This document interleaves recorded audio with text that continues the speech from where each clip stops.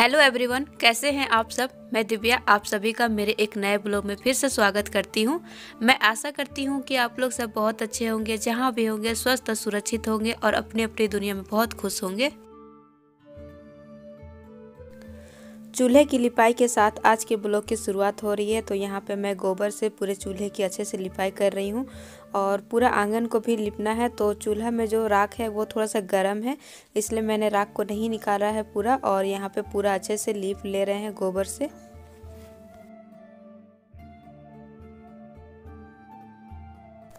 और थोड़ा बहुत राख हम लोग चूल्हे में ही छोड़ देते हैं। इससे चूल्हा जलाने में अच्छा सुविधा होता है। थोड़ा सा मिट्टी तेल डाल लो राख में और उसके बाद चूल्हा बहुत अच्छे से जलता है, इसलिए पूरा राख को निकालते भी नहीं है।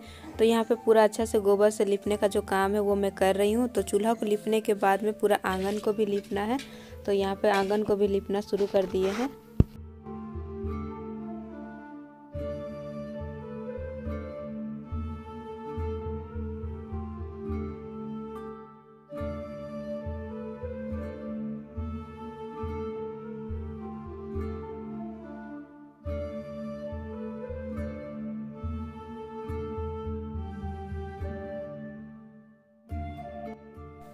और यहाँ पे दोनों बच्चे खेल रहे हैं और यश के पापा पेपर पढ़ रहे हैं। तो यहाँ पे मुझे लिपना था तो मैं इन लोगों को बोलने बोलने वाली थी कि यहाँ पर से भागिए आप लोग। तो यहाँ पे इन लोगों को बोलने से पहले ही ये लोग भाग जाते हैं और कहते हैं ना कि समझदारों के लिए इशारा ही काफ़ी होता है। तो ये लोग समझ गए कि अभी हम लोग भी थोड़ा सा लग जाएगा हम लोग में गोबर तो इसलिए चलो सबसे अच्छा है कि यहाँ से भाग जाते हैं। तो ये लोग भाग गए और उसके बाद मैं यहाँ पर पूरा अच्छे से गोबर से लिपाई कर ली हूँ।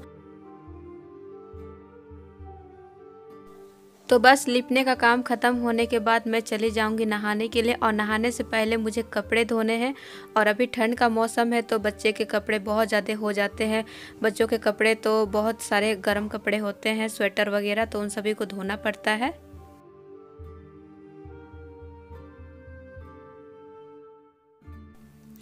और ठंड के मौसम में नहाने के बाद में धूप में रहना बहुत अच्छा लगता है और हमारे आँगन में तो बहुत अच्छी धूप रहती है।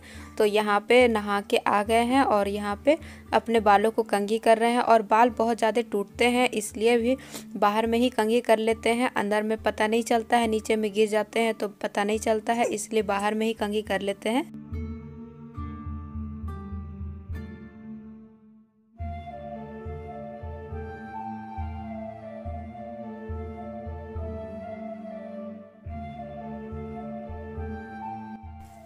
आज रात के खाने में बनाने वाले हैं आलू वाली पीठा तो यहाँ पे आलू को बॉईल कर लिए हैं कुकर में और सभी आलू को छील लेंगे।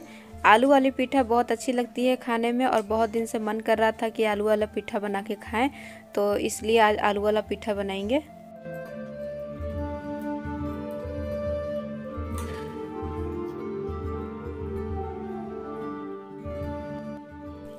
तो यहाँ पे सभी आलूओं को छील के रख ले रहे हैं एक थाली में और उसके बाद हम प्याज, टमाटर, धनिया पत्ता, इन सभी चीज़ों को काट के एक थाली में रख ले रहे हैं। और उसके बाद चलेंगे चूल्हे पे बनाने के लिए। तो सबसे पहले यहाँ पे अच्छे से सभी चीज़ों की तैयारी कर लेते हैं और उसके बाद में खाना बनाएँगे।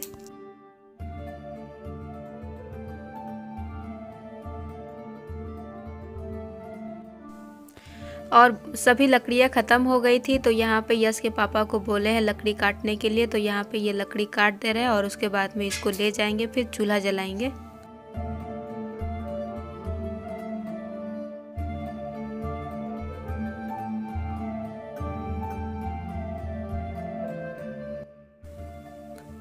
मम्मी जी गई थी बारी और बारी में पटाने का काम हो रहा था। आज पानी पटाने का। तो यहाँ पे पानी पटा के सभी पाइप को लेकर आई है और अभी इसको रख दे रही है घर में और यहाँ पे मैं लकड़ियों को ले जा रही हूँ चूल्हे के पास में।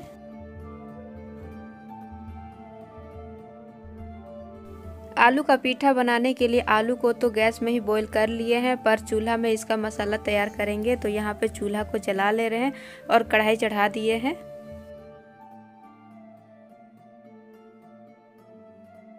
तो यहाँ कढ़ाई पे दे दिए हैं सरसों का तेल गरम होने के लिए और जब तेल गरम होगा तब इसमें डालेंगे सभी मसाले और उसके बाद आलू को भूनना है।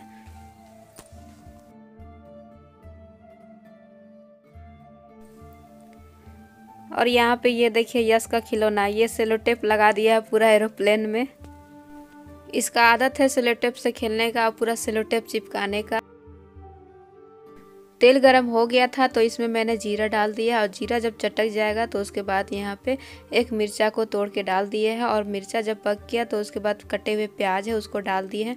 और हमारे घर में मिर्चा ज़्यादा खाते नहीं है, इसलिए मैं ज़्यादा मिर्चा का इस्तेमाल नहीं करती हूँ। और बस इसमें टमाटर डाल दे रहे हैं टमाटर को अच्छे से पका लेंगे। और मैंने थोड़ा सा इसमें लहसुन को कूट के डाला है, वो मैंने आप सभी से दिखाना। भूल गई शायद तो इसलिए अभी अभी बता दे रही हूँ। और उसके बाद में नमक डाल दिया और नमक डालने के बाद जब टमाटर पक गया तो उसके बाद यहाँ पे बस डेली यूज़ के जो मसाले आते हैं हमारे घर में, बस वही मसालों को डाले हैं, जैसे कि हल्दी पाउडर और सब्ज़ी मसाला। तो मसाले अच्छे से पक गए तो उसके बाद में आलू जो अच्छे से मैश करके रखे हैं, वही आलू को डाल दे रहे हैं और उसके बाद में इसको अच्छे से मिला लेंगे। और उसके बाद में लास्ट में इसमें धनिया का पत्ता भी ऐड करेंगे।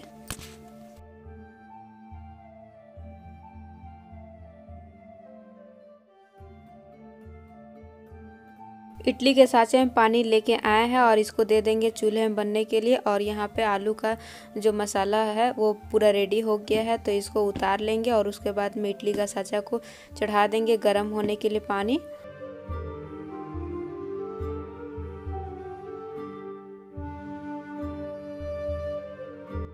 तो यहाँ एक बर्तन में चावल का आटा ले आए हैं और ये खोलता हुआ पानी है, उसी से ही आटा लगाना है। तो यहाँ पे आटे में नमक डाल दिए हैं और नमक डाल के इसको अच्छे से मिला ले रहे हैं और उसके बाद में गर्म पानी से ही आटा को पूरा लगाना है।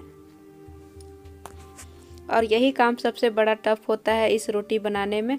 गर्म पानी डालने से जो होता है, हाथ से आप इसको चला नहीं सकते हैं। तो इसको चलाने के लिए एक चम्मच की सहायता पड़ती है।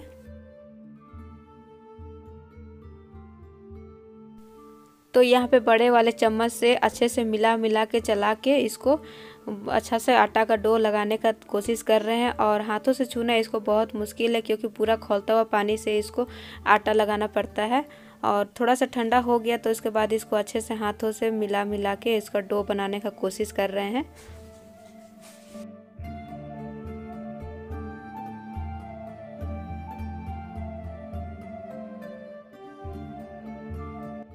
अब बस गोल गोल लोई बनाकर उसको कटोरी का सेप देना है और फिर जो आलू का मसाला तैयार किए हैं उसको भर कर इसको बंद करते जाना है और एक एक करके इसी तरह से सभी को बनाते जाना है और जब पूरा भर जाएगा बना के तो उसके बाद में इसको इडली का साँचा में दे देंगे और लास्ट में यहाँ पे गुड़ वाले भी बना रहे हैं। बच्चों को गुड़ वाला बहुत पसंद आता है तो गुड़ डालकर इसको बंद करके बस इसको गोल गोल ही करके छोड़ देंगे ताकि पता चले कि गुड़ वाला है ये।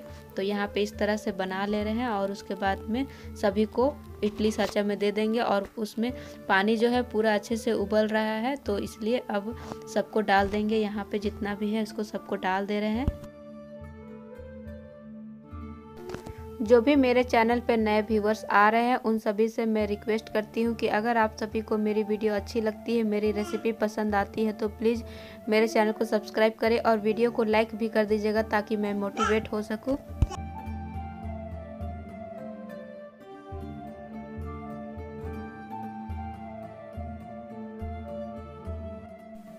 तो यहाँ पे सभी को एक एक करके डाल दिए हैं और अच्छे से इसको ढक देंगे और फिर इसको 15 से 20 मिनट के लिए पकने देंगे तो उसके बाद में ये पक जाएगा और फिर खाने के लिए रेडी हो जाएगा। तो यहाँ पे चूल्हे को भी जला ले रहे हैं और उसके बाद में इसको दे देंगे पकने के लिए।